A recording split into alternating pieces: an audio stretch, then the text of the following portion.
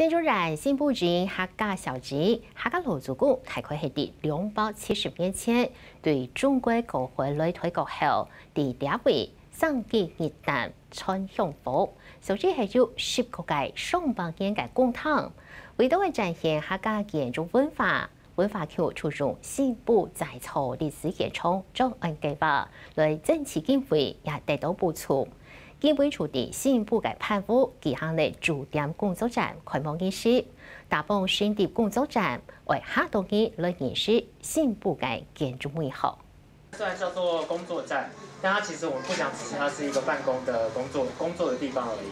驻点的工作站，人员同行政院长用文科，说明工作站成立的目的，同时沿途几多站内视察相关的设备、应用的摆设。新浦镇系新政院行业人口密度全高的乡镇，伊块表现镇内建筑的样式韩国文化，故所同文化部提案争取经费得到补助。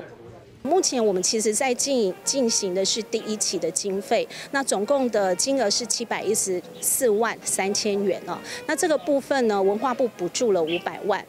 对，为先提演田的古迹盘木，来做工作站的素材。除提一百二岁，客家五十年土盘风格的买家，只要文学性以外，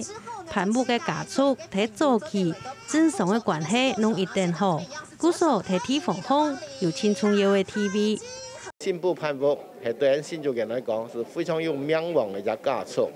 呃，佢大家信步，信步又做过三比紧张，可以讲人才荟萃。我们特别挑选了潘屋，那我们希望透过潘屋，它现在这样的一个呃建筑的一个历史的故事跟脉络，来营造这样子的一个工作站的场域。那么我就家族也同意讲，因为本地的建筑啊，对外未来的诶，咧潘湖嘅发展啊，要非常非常大嘅共共融。新竹县文化局讲，驻点工作站开幕过后，要固定在隔礼拜四到拜六，下昼的时间对外开放参观盘湖。未来工作站咩要规划一系列的展览，要用发发方式来经营，为大鹏安人认识新竹客家古迹筑的建筑，客家新闻运运用新竹报头。